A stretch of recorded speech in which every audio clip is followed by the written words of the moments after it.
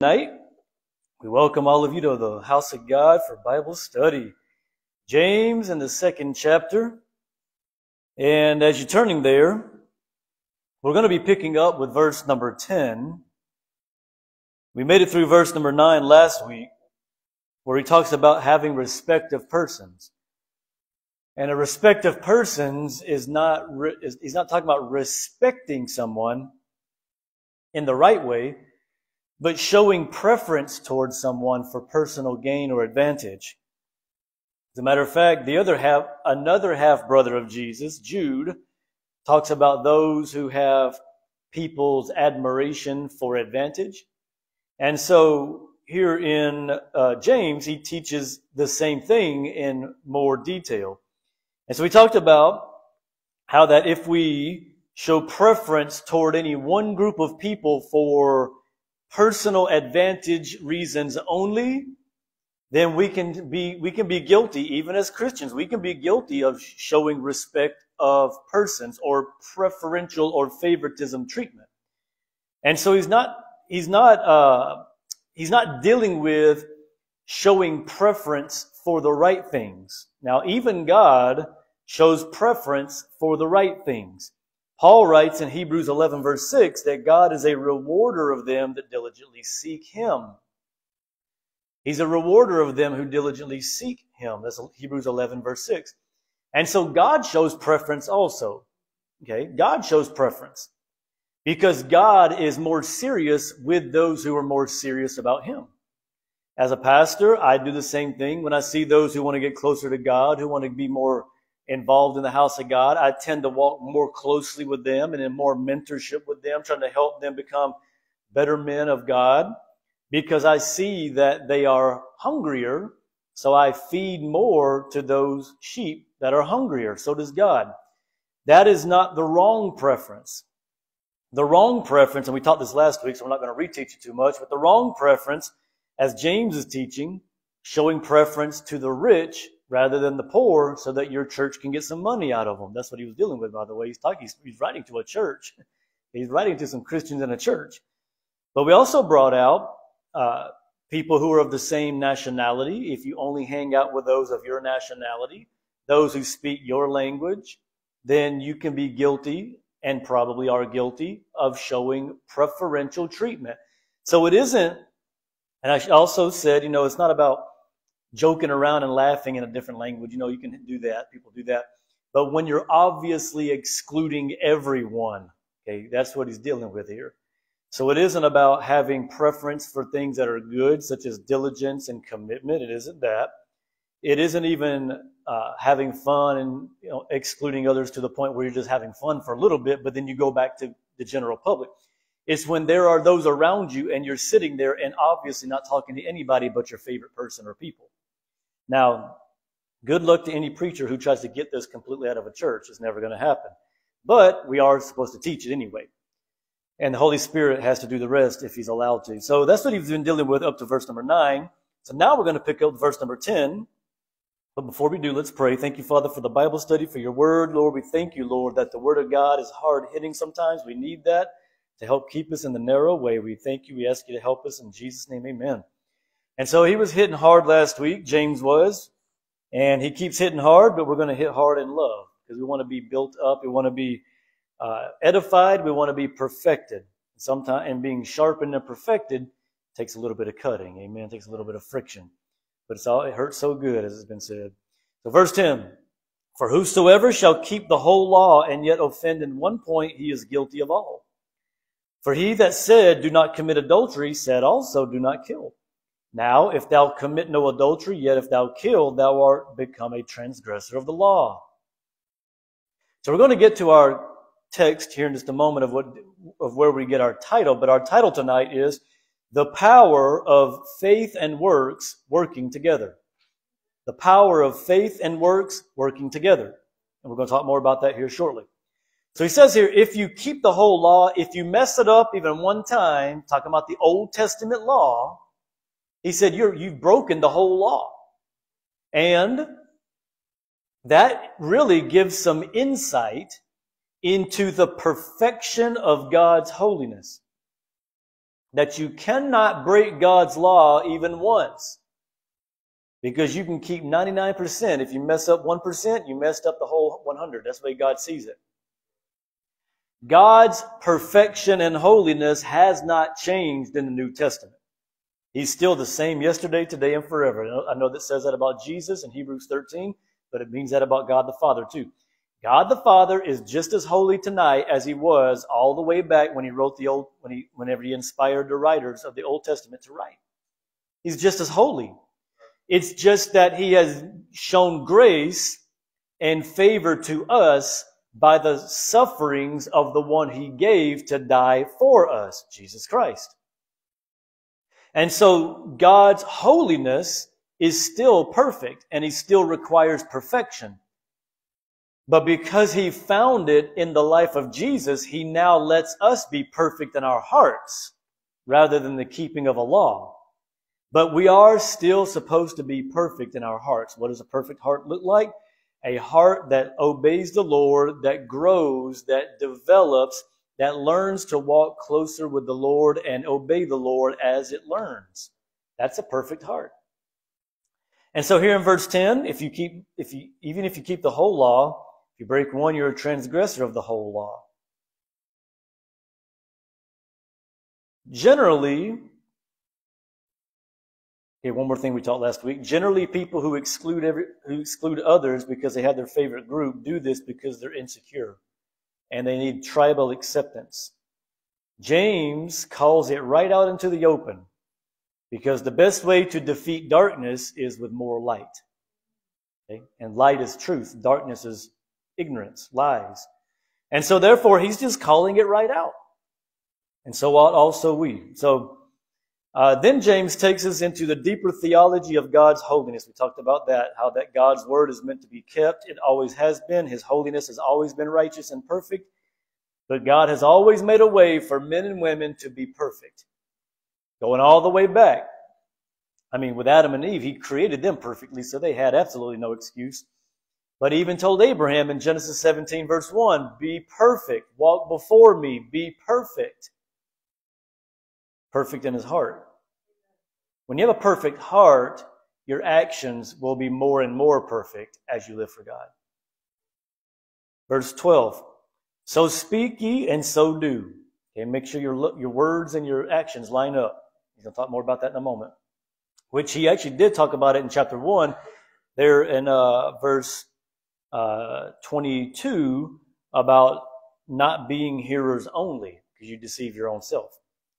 And so here in ver- chapter 2, verse 12, he says, Speak ye and so do, as they that shall be judged by the law of liberty. So now he introduces a new phrase here, a new law, though it's the same law. He, he calls it here the law of liberty. And so in the Word of God, you have the law of Moses, you have the law of love, you have the law of liberty.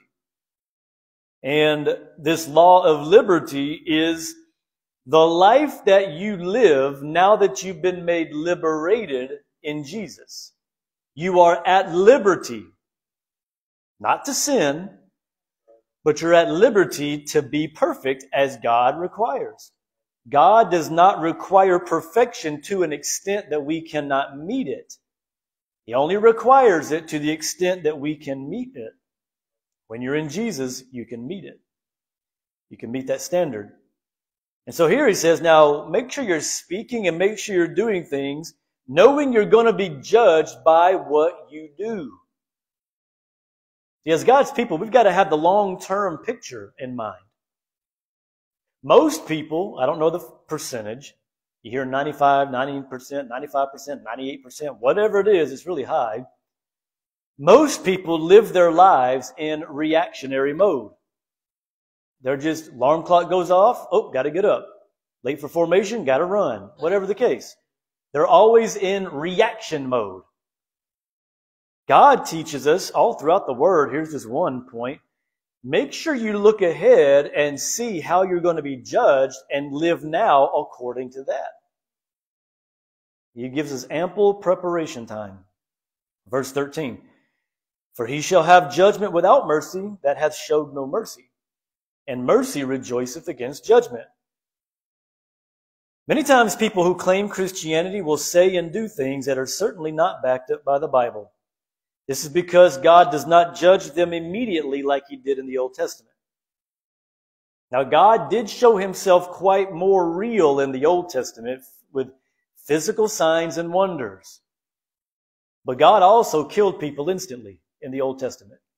so, do we want to be in the Old Testament? See, a lot of times people think, "Oh, I'd love to see the, I'd love to see all that stuff. I'd love to see the fire and the and the cloud and the and the fire fall down and the water out of the rock and uh, you know manna and all, all, they'd love to see all that stuff, right? But if you if you're going to go to that time frame, you got to take everything that comes with that time frame, such as the earth caving out from under people and swallowing them alive into hell, you know, stuff like that. Hailstones falling from the sky and, and killing people, you know, things like that, right? Vipers crawling in and biting people, you know, stuff, things that God allowed you can't just go and do the, see the good stuff. Besides, the Bible makes it clear that even though they were there seeing those things, many of them did not believe. So would we really believe? Jesus says if you have to see stuff like that to believe, he said you're wicked and perverse. Because you're sensual, you're basing things upon what you see rather than faith. He said you will not see anything.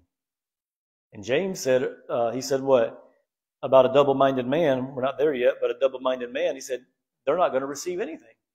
They're not going to receive anything from God. All right, so the law of liberty. This law of liberty is the liberty you and I have to walk perfectly before God. It is not a life that is too hard to live, it is a very liberating life. So he does not always approve, or rather, God will give us liberty but let's learn how to walk in the liberty of God to where He will approve of our lives. God does not always approve of things He allows. It said earlier, God doesn't smite people dead instantly, but that doesn't mean He's okay. When we hear the Word of God taught, when we read the Word of God, when we know what the Bible says, God does not approve of us just because it doesn't kill us for disobeying. Thank God for His mercy, but there is coming a point at which our time runs out, whenever that may be. The power of faith and works working together. What is the power? The power of faith and works working together is the ability to live above and outside of and superior to the power of sin which used to control us, to live in this life like Jesus lived. Now that sounds like a tall statement, but with God all things are possible. Let this mind be in you which was also in Christ Jesus. I can do all things through Christ who strengthens me. It's possible. Jesus was not perfect before the Father because he kept the law of Moses. Matter of fact, he broke some of the law of Moses. when he was allowing his disciples to eat without, uh, well, wasn't even the law, but he broke a lot of the laws, I wouldn't say the law of Moses, but he broke the laws of man when he would not make his disciples wash their hands 20 times before they ate. They were eating with unwashed hands. And he said, you break the law of God with your laws. So you don't need more laws, you need more liberty. You need more love and, and perfection in God. But I, I will say that I, I was about to say Jesus broke the law of Moses. He didn't break it. He fulfilled it. You don't read of Jesus offering animals. You don't read of him doing that. And I asked a man one time, I said, uh, why didn't Jesus offer sacrifices? Well, because he was the Lord. I said, but people did not see him that way. See, we look back and we say, oh, the Lord, they, they should have known better. Well, the Bible says if they had known better, they wouldn't have crucified him. But it's easy to say now they should have known better.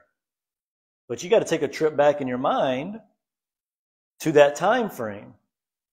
Imagine some guy just comes on the scene, busting up all the paradigms and busting up all the ways things have always been, the way we've been doing it for centuries. And we're just supposed to say, oh, that's the Lord. That's, that's not likely to happen. Okay? All right, so James shows us the way God looks at being unmerciful. He said, You will not receive any mercy if you're not merciful, even if you have a good reason not to be merciful. You know, the worst reason is what? A good reason. Because it makes us think we're all right. This does not even mean people deserve mercy. He said, What? You will not get mercy if you don't show it. He didn't say only show it to those who deserve it. He didn't say show it to those who show it to you first. That's juvenile. That's underdeveloped Christianity. Matthew 5 and 7, Jesus says, Blessed are the merciful, they shall obtain mercy. Sounds to me like James learned a little bit from his older brother. He said, You will not receive mercy if you don't show mercy. Bite your tongue if you have to. He said, You got to show mercy. Verse 14. What doth it profit, my brethren? They're still talking to Christians. What is a profit? Though a man say he hath faith and hath not and have not works, can faith save him? Think about that question. Can faith save him? Now that right there completely slaps in the face the doctrine, just believe in God. Or when people say, I believe in God. Verse 15. If a brother or sister be naked and destitute of daily food, and one of you say unto them, Depart in peace, be ye warmed and filled, notwithstanding you give them not those things which are needful to the body, what doth it profit? Even so, faith, if it hath not works, is dead, being alone. So, which one are you supposed to have, faith or works? Both. Option C. It's like one brother. you know, I try to teach people to to think beyond the. Um, what's going on here? There we go. I try to teach people to think beyond the options that are in front of them. You got to be able to see another option if it's there. You got to be able to see another option. And someone asked me, because he noticed some things needed to be fixed on the church van, and he knows how to fix them. He said, he said, you want it, uh, what he say? So you want it done at a shop or you want to save money? I said, option C, I want it done right. and uh, he said, well, he said, I know how to do that stuff. I said, like, you do? He said, yes. He said, I know how to do a lot of things like that. I know how to do, do, that kind of thing. I said, okay. I said, well, just give me some information then. We'll talk about it, you know. And so, but you got to be able to see option C. Okay. So which one do we need? Which one are we supposed to have? Works or faith? Option C, both. All right. Well, that wasn't one of the options. I know if I don't like the options, I'll create an option. All right. So what does it profit? If you talk a lot of things, but you never do them. A lot of people have a lot of offerings of advice and a lot of offerings of corrections and criticisms and things that could be better and why doesn't someone do this and how come no one does that and you say well what about you oh no it's like where's the works where are the works see that's just that's just talk he said earlier so speak and so do i tell you my rule right if you come up if you if you bring a problem to me you got to bring at least two options Got to bring at least two. And you got to be part of how many? Two. Bring me three. You got to lead at least one. You got to, one of your options is, is you're going to lead it. Another option is you're going to at least be part of it if you don't lead it. And the other option better be really good if I'm not going to include you. All right? Like super, like Jesus is going to do it for us type of thing. All right? Otherwise, I'm going to go with options one and two. Because I believe if you're going to bring a problem, you should bring solutions and then you should be part of the solution. This is not kindergarten church. Okay, this is this is warrior. This is the four people I work, I pray for: winners, worshipers, workers, warriors. I pray for those four categories of people. When I pray for God to draw people, I don't just say, "God, draw people to the church." I don't. That's so generic and vague. Believe me, there's some people I don't want in this church. So I'm not praying generic because God may let them come. And I'm not, I don't want them here. All right. Church just has a way of drawing the weird, kooky folks. It just does. All right. Jesus said the kingdom of heaven is like a big net and it drags in all kinds of stuff. He said some things you throw back. he said some of it you keep and some of it you throw it back. And so when I pray, I pray for winners, worshipers, workers, and warriors. Amen. And God has brought those kinds of people. Some people fall into all the categories. Some fall in one, some fall in two, some fall in three, either one, whatever. As long as they're able to be worked with, I can work with them. But I always require someone to bring solutions that they're part of if they're going to criticize. I'm open to criticisms in a respectful way, but you got to bring the solutions too. Why? Faith without works is dead. Criticisms without solutions is also dead to me. All right, let's keep going. We got all that out of what? Be you warm in the field, or something like that. So even, okay, here it is. Even so faith, if it hath not works, is dead being alone. I tend to, uh, if I find a problem, I try to offer solutions as well. They don't always get taken, but that doesn't mean I'm not doing my part to try to offer them anyway that I'm part of. Our relationship with God cannot just be words, it must be actions also. It cannot be a profession without practice. Otherwise, we don't really believe what we say we believe. We don't really believe what we say we believe. There's a lot of things that Pastor Fulmer teaches, but I believe them. And I back them up with actions. Verse 18. Yea, a man may say, Thou hast faith, and I have works. Show me thy faith without thy works, and I will show thee my faith by my works. James is not teaching that you can earn your salvation through works. That is not what he's teaching. But he's also not teaching laziness couch Christianity either. And that's another thing. People who say, "Oh, you're just say you're just legalistic. You're saying that you can work your way to heaven." So I'm going to sit here on my couch of do nothing and eat my Christian Cheetos and Doritos and whatever else and expect to get into heaven with cheesy fingers. I don't think so. You're going to have to get up and do something with that Christian life that God gave you. It isn't difficult, but God requires something. What is that something? Well, it's in the Bible. So he says here, you have faith, I have works. Eh, we'll just agree to disagree. That's not what he says.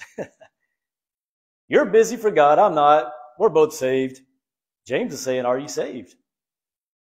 A true mark of true salvation, or as Paul says, things that accompany salvation, is that we will be busy about the Father's business just like the Lord who saved us.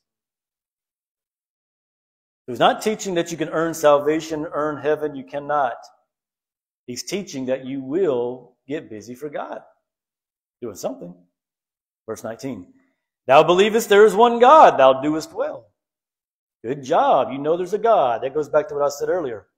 When people say, oh, it's okay, I believe in God. Look at what he says here in verse number 19 if you're following along. The devils also believe and tremble. Let them know you ain't any better than a devil. What do you mean? The devil believes in God. The devil believes in God. Is the devil going to heaven? Are the devils going to heaven? But they believe in God. It takes more than belief in God, doesn't it? Well, I believe in God, but I don't have to go to church. Well, you're, you're disobeying Hebrews chapter 10 at that point. And you're fulfilling James chapter 2. Verse 20. But wilt thou know, O vain man, that faith without works is dead? He's asking, do you even want to know what you don't currently know? You know, some people make you believe in predestination. You teach them something and they act like they just don't even get it. Like, huh? What? Huh? What? Uh, okay, anyway. It's like, did you even hear what I just said? Did, did it even click? But the way some people act, you, it, I don't believe in predestination. What is predestination? Some, some people believe that some people are predestined to go to heaven no matter how bad they are, and some are predestined to go to hell no matter how hard they try. Doesn't matter. That's not the Bible. You will earn heaven. You will earn hell. But some people make you believe in predestination. I'm just saying. like, man, maybe there is a predestination, and maybe they're one of the ones that are just destined for hell. Who knows? They just act like they ain't getting anything here. Or is it purposeful ignorance? Okay, well, that can happen too. Some people don't want to grow up mentally. They want to act nine like they don't understand what's happening in life when they really do. There's a story my one of my former pastors told me years ago. But I think he was a, a traveling evangelist Yes, he was. he was he was preaching in a church, and there was a woman there that had this. She was uh, mentally disabled, mentally disabled, and she was getting a monthly check for it and all that. You know, and that's fine for for people who have that issue and all that. He said that um, the pastor she wanted prayer that God would help her. You know, there was prayer preaching about healing. The pastor and and this man who used to be my pastor, he was an evangelist, evangelist at the time. They went and prayed for her and she and they uh, the way he told it he sensed that god's power was there to heal her. And they were just simply saying hey just start speaking. Start speaking pray in tongues rebuke that spirit that's kept you bound and that she was it looked like she was about to do it and then she just slumped back over and played And they just, hey, hey, you're okay. And she just did this the whole time. And God dealt with his heart and said, she wants to stay the same. Because she doesn't want to lose that money. She wants to stay the same. You get a lot more sympathy when you don't, when no one expects anything out of you. Well, you get some sympathy from some people, depending on how quickly they see through it.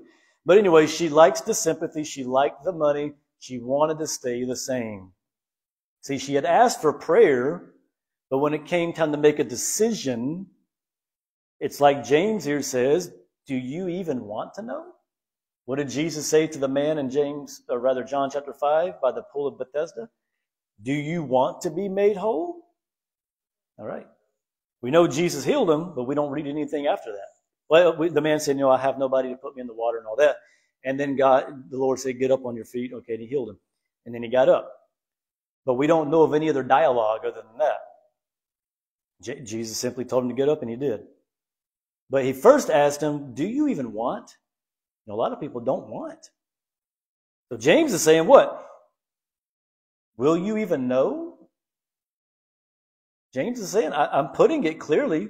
Do you even want to understand? The answer for most people is no, I do not want to know what I don't currently know because they don't want to be held accountable for it, but they will be. Because we'll be held accountable for that which we could know, whether we learn it or not. If God has put a minister and a pastor in our lives who teaches the word in a church building where we can legally gather multiple times a week, we could know. James was just calling it like it is. He was going right through the excuses. Do you even want to know? Rhetorical question. He knew the answer. Verse 21. Was not Abraham our father justified by works when he had offered Isaac his son upon the altar? The answer to that is what? Yes, he was justified. He's, he's going back into their scriptures. And he's giving them a real life example. Now, I believe a lot of them were like, Yay, Abraham, the man. Okay. Well, what did, what made Abraham the man? His works. His works that were rooted in faith, that were a fruit of his faith. So he said there, isn't that what made Abraham justified? Was his works? Verse 22. Seest thou how faith wrought with his works, or together with his works, and by works was faith made perfect? In other words, do you not see how that when he put works and action with his faith, his faith was even more perfected? What is the power of work, of faith and works working together?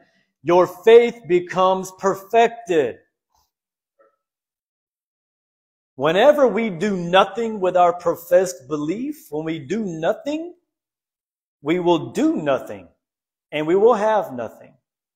It is usually those people who can never, ever, ever get the victory in their lives. They're never happy. They're never joyful. Their head is always down. Their face is always drooping with sadness. They're always telling you all their medical woes and all their what marital woes and all their mental woes, the three M's. Medical, marital, and mental, all right? Because they have no power.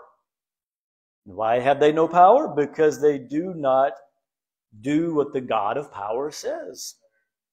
So what is the power of faith and works working together? The power is the power of God working in your life and perfecting your faith. I'm telling you, the more action you put with your faith, the more works you do, the more working for God, the more power you'll have, the more perfection in your heart toward God you'll have, the more perfection toward people you'll have, the more on fire and joyful you'll be. We poison ourselves. Verse 23 of James 2. And the scripture was fulfilled which saith, Abraham believed God, and it was imputed or credited unto him for righteousness. The scripture was fulfilled. Whenever you and I put actions with our faith, meaning we say we believe what the Word of God says, we go out and do something with that, we will fulfill the scripture also. What scripture? That we will be perfect even as our Father which is in heaven is perfect. And he was called the friend of God. Not because he sang the song, but because he lived it. Because he lived it. Verse 24. Nothing wrong with singing the song. It's a good song. Let's keep going. Ye see then how that by works a man is justified and not by faith only. The power of faith and works working together. They cannot be alone. Faith gets lonely without works. Don't let your faith be lonely. Works get lonely without faith. Don't just be busy and not know what you're doing or why you're doing it. That's lonely. Works and faith together. So Abraham, you can read about that in Genesis chapter 22. If he had only had faith and not works, he could have just said, uh, I don't have to go to that mountain, Lord. I know you'll keep Isaac alive. He could have said that. But I don't know how much longer, we, how much more we would have read about Abraham if he had done that, if any. He got up and got moving. The Bible says, uh, actually in Hebrews 11 and in Genesis 22, uh, it talks about how that he didn't even know where God was going to lead him. He just got up and got going. I made a statement on Sunday morning. I said, How's our church going to go to 100? I said, I have no idea. I said, I'm going to try to work to be better and lead better and pastor better and influence better and work with people better and uh, encourage better and motivate better and do everything I can do. But it's going to, you know, it's going to come through prayer. It's going to come through work and inviting. Of course, that's basic stuff. We understand that. But other than that, I have no idea. I have no idea. I mean, in one year, we've gone from 20s to the mid 50s. I mean, that's a you know 100% increase or so. Before that, we went from 8 to 30. So that was whatever, 700% or so. And so, you know, we've been on a track upwards, but we want to keep on that track upwards. I don't know how we're going to get to 100. Can this church hold 100? It can. We have all the kids go upstairs immediately rather than waiting with the parents. We just have them go straight to the children's ministry. You have 30 kids upstairs and 70 people down here. That's 100 people. So it can happen, but how's it going to happen? I don't know. I'm going to a land of a hundred people that I don't even know how to get there. All right, but God knows. that's what, that's that's just calling things that are not as though they were. Okay, and I know it's going to be a teamwork thing. I get that. God's going to add to our team. What were my four W's? Winner that I pray for: winners, worshipers, workers, and warriors. Remember, I pray for those four kinds of people. I don't just pray God send us people because God will send you people. And remember that net I talked about? You throw them back in the water because all right. Winners, worshipers, workers, warriors. I'm very specific. And God has given us a team here, thank God. And so therefore, Abraham got up and got going. Didn't even know where he was going, but he knew the God who knew. That's all that matters. All right, verse 25. Likewise, also was not Rahab the harlot justified by works when she had received the messengers and had sent them out another way? You can read about that in Joshua chapter 2. Rahab the harlot, prostitute, she took in those two spies. She hid them from her government officials. Well, the government says I have to, so I have to. Rahab didn't. She didn't think like that. She didn't think. Remember, I said earlier, option C. If you give an option A and option B, and you don't like them, look for option C. that brother that said, "Hey, you want to about the uh, repairing of the church van? You want to go to a shop, or you want it done cheap?" I said, "I want it done right." Option option C. That's the way you got to think something. You got to see, you got to see option C, right? And so the government said, you came to Rahab, you got to tell us where they are. She said, uh, no, I don't. okay, yeah. She lied to them. We're not, we're not condoning lying. So yeah, they left. Go chase them. You'll catch up to them. And she had them hidden on her, on her roof the whole time. I'm not saying you should lie. Christians don't lie. She wasn't saved. She was a prostitute. Christians are not prostitutes. Do I have to say that part? Okay. And so, um, but she eventually got into the grace of God, okay? And so, therefore, she's now remembered as having true faith and works. So, Paul in Hebrews 11, he gives uh, honor and homage to Abraham and Rahab. His half, Jesus' half brother James, here in James chapter 2, also gives homage to Abraham and Rahab because they did something with their faith. Then he says, for at, verse 26, for as the body without the spirit is dead, so faith without works is dead also. Now the body can survive on machines and you can be alive on a machine because your spirit is still in your body. But once that spirit is gone, They can hook you on a machine, you're not there. The body's functioning because it's a physical, physio- it's physiology, stuff pumping through vessels and stuff inside your body. I mean, that's just like water in a water hose. Okay. That's just like that, coming in and going out, coming in and going out. That's nothing, that's not a big, that doesn't make them alive. When the spirit is there, they are alive. When the spirit's gone, the machine can go on. You can keep a body on a machine for probably a couple of centuries if you do it right, I guess. But that doesn't mean the person's alive. Their soul is departed. And so therefore he says, just like that, you can have faith, but if you don't have anything with it, it's a dead body. You can have actions, but if you don't know why you're doing it you're not doing them for God, it's a dead body. Spiritual corpse.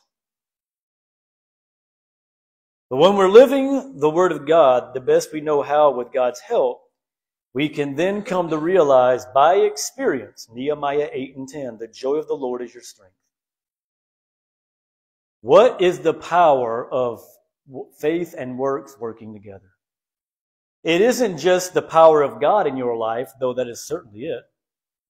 It is the joy of the Lord being your strength. The happiest people are the busiest people for God. Those are the happiest people. So let's remember to be busy with our faith. Amen. Let's go ahead and bow our heads tonight. Close with prayer. Thank you, Father, for your word. We ask you now, God, to give us a heart to work and to labor, to be busy about your business, just like our Lord and Savior, because we want to be more like him. In Jesus' name, amen. Amen. God bless everybody tonight. Thursday night service is 730.